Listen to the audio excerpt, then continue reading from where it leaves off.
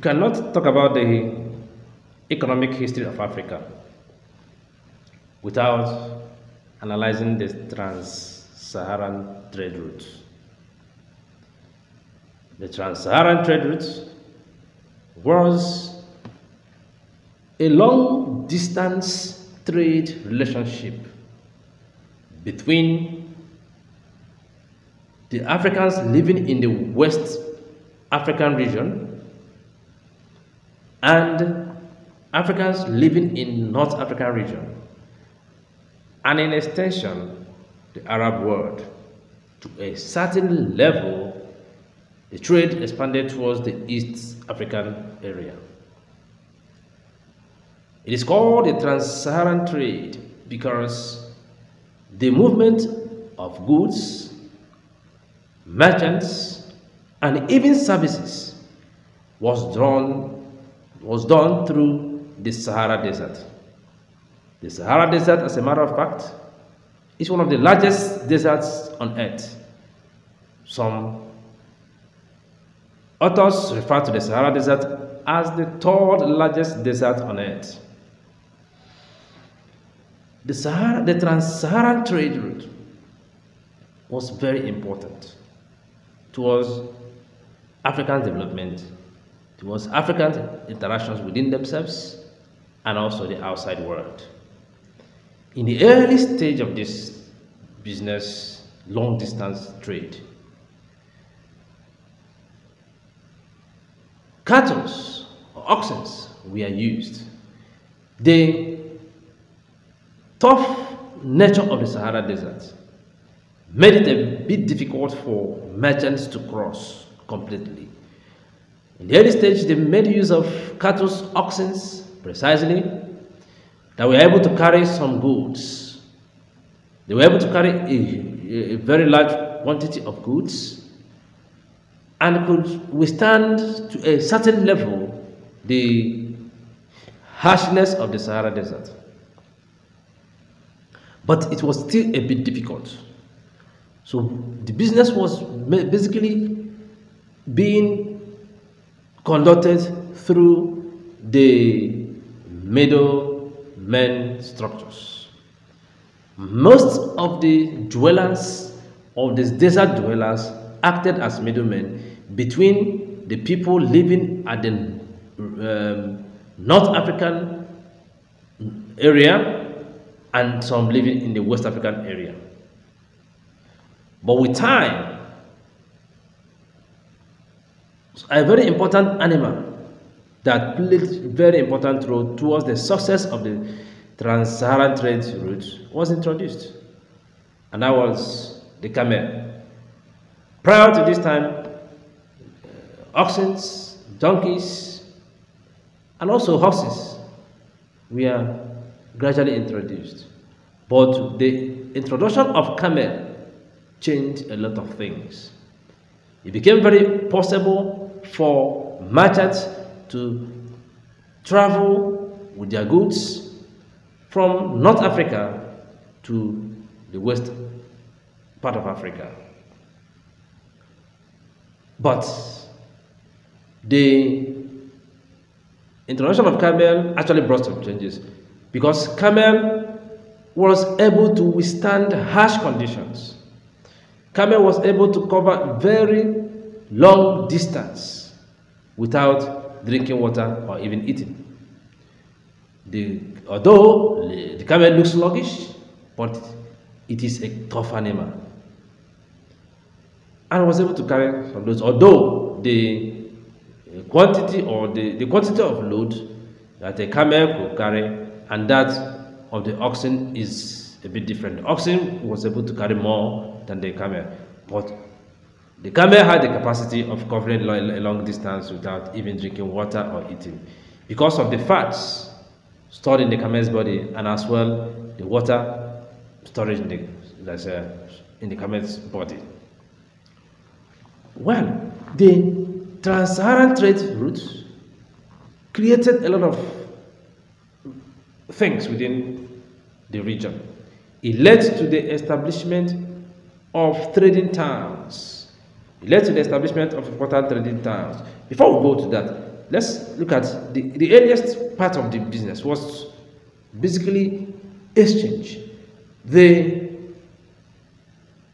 desert dwellers were able to exchange salt with the uh, food growers in the northern part of Africa and also the west part of Africa.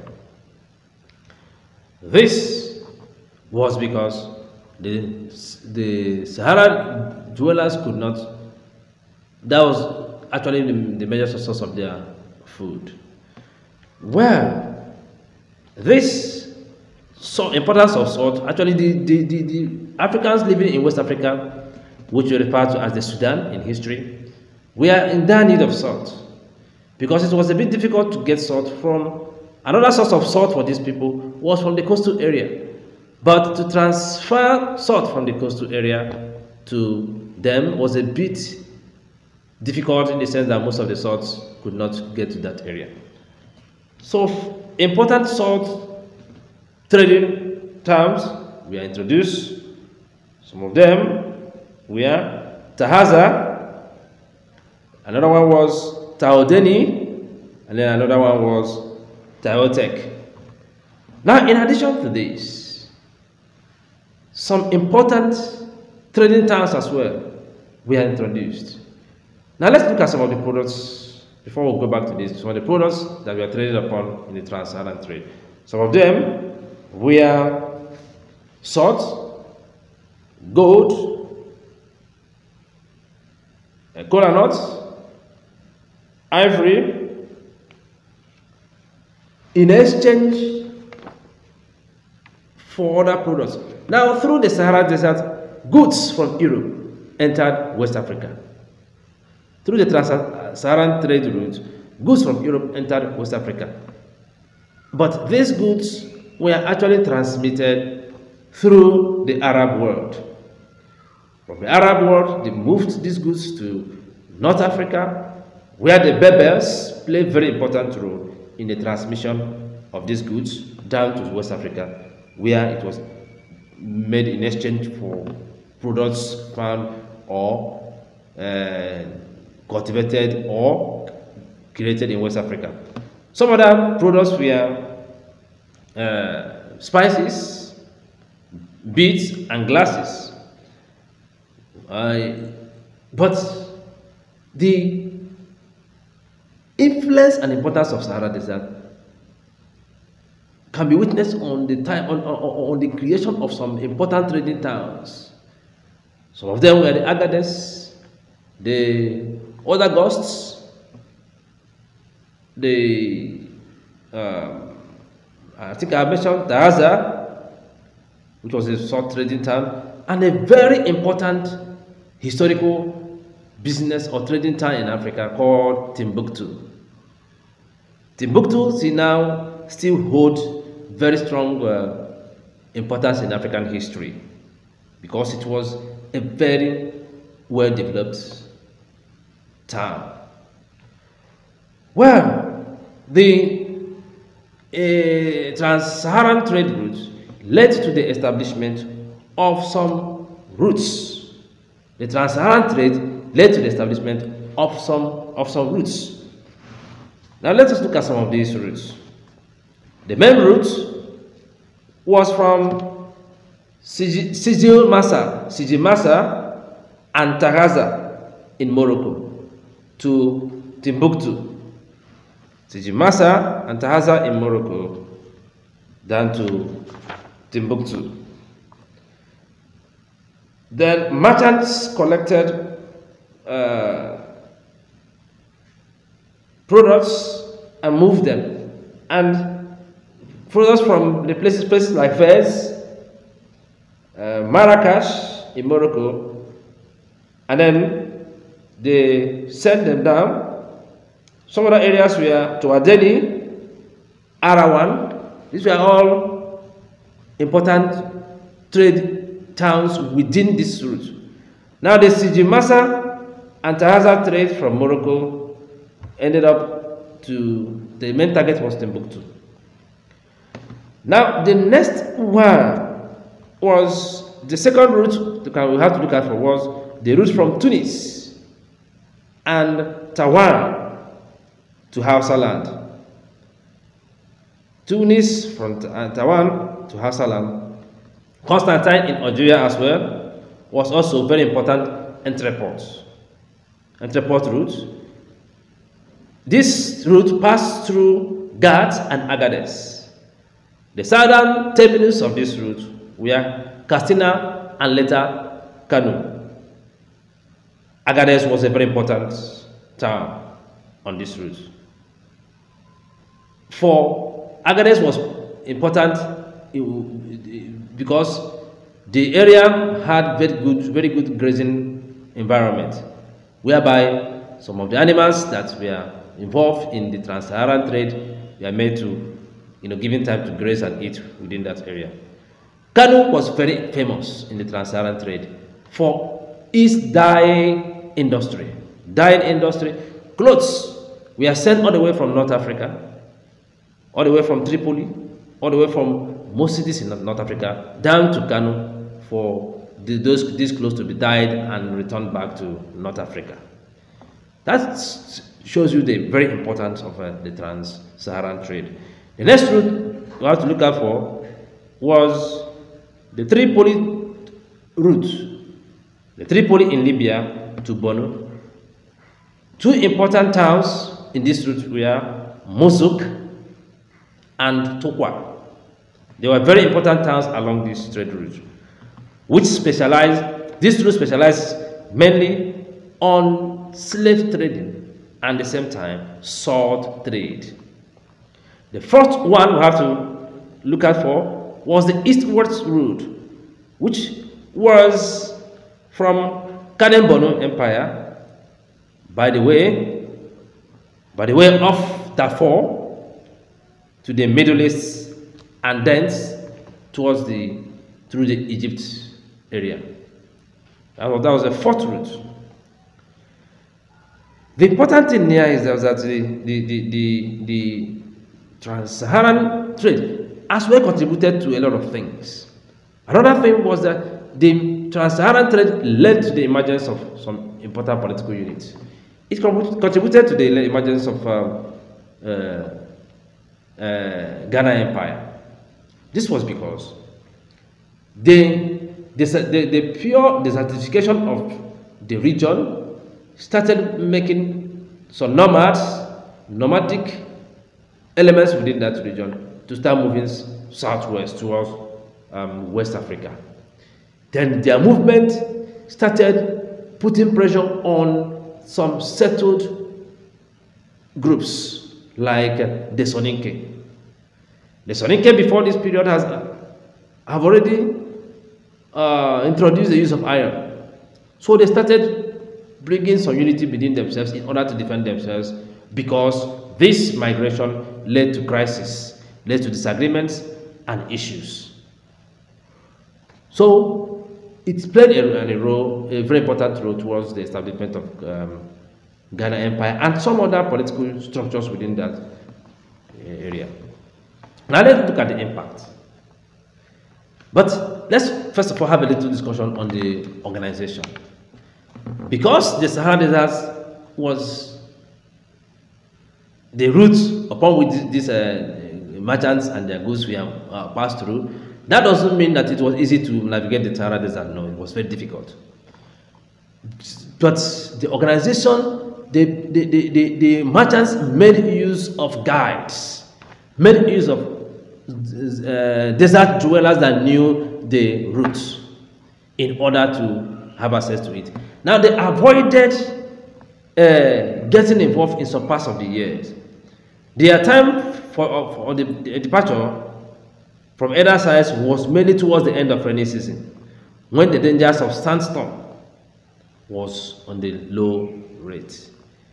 It was very dangerous to travel in small numbers. Thence, the time for departure was regulated so that many groups of the caravan could leave at the same time. Where the capital for this trade was provided by the wealthy merchants from North Africa who possessed a large number of camels And they had enough money to buy uh, uh, sufficient articles for the trade. Where they paid for protection money to the desert people and guards. The merchants spent considerable length of time to cover up, you know, a time of almost nine months in either terminus of the route, trading with local people. This enhanced cultural and religious influence. Now you can see the this actually was one of the uh, means upon which Islam was introduced in West Africa. It was through the, the this uh, relationship. The desert dwellers play a very important role. They started as middlemen, but when matters started passing through, they started making use of uh, utilizing the, the activities through guides and also started getting involved in the business. Some of them were very uh, aggressive and you have to pay your way through it. Now, the desert used to be very hot in the afternoon. In the night, it used to be very cold. So you can see how difficult it is. It was and it is still is still now. So let us look at some dangers associated in, in this. There are many dangers, you know, that the, that the merchants faced. First was we mentioned the sandstorm. The sandstorm was very dangerous even till now. If you have an issue going to the Sahara Desert, you have to be aware that there's possibility of sandstorm which can bury somebody alive uh, and lead the person's death. Now, as I said, it was impossible, it was a bit difficult to navigate during the rainy season. The next one was bandits. There were issues with banditry. Some aggressive and overzealous bandits, we must, in, in some cases, attacked merchants, stole their properties, and even killed some of them. Another danger was the risk of getting missing. The risk of getting missing. That's why most times these uh, merchants will decide to go the same time in order to, you know, to look out for each other. Then there was a heavy danger of inability to get enough water. The issue of the desertification led to the drying up of some very few sources of water leading to reliance on oasis. Well, with the help of the guides, these merchants were able to know where and where to stop in order to get their source of water. Enough that will guide them, and the, the period upon which the, the, the water they have will lead them to. Well, as I said as well, the desert can be hot in the afternoon and very cold at night, making it very difficult. So the this at a time as well, within this period, some level of slave, slave trade we are introduced. And slaves were sometimes being used by these merchants to move their goods to and fro the uh, Sahara Desert. But there was importance to this. The Sahara Desert brought a lot of changes brought a lot, a lot of um, developments. Notable, one of the ones who have said earlier was the Timbuktu. Now it also made, introduced a, kind of acculturation, uh, introduced arch uh, architectural, uh, new architectural designs. For instance, the use of blocks or bricks were introduced mainly in some parts of West Africa through the interactions with um, some of the merchants. And very importantly, Islam was introduced. Well, at the time as well, the external or long distance business relationship in African economic history shifted from the Sahara Desert area to the coastal areas. This was after the Europeans came to the coastal area and uh, Af Africans within the West African region started realizing that the transatlantic trade was actually giving more, less, less um, uh, dangerous, and then but and at the same time creating more wealth. The shift moved from the trans-Saharan trade towards the transatlantic trade, and the shift affected the influence of the trans-Saharan trade. Well, this shift went ahead to be a detrimental one to Africa because it was through there the Europeans entered into the hinterland, conquered most parts of Africa, and established colonial rule. Wow. Well, if you're watching us for the very first time, please subscribe to our channel and click on the notification icon so that anytime we introduce a new topic, you'll be one of the earliest persons to be notified. Thanks for still being part of this channel.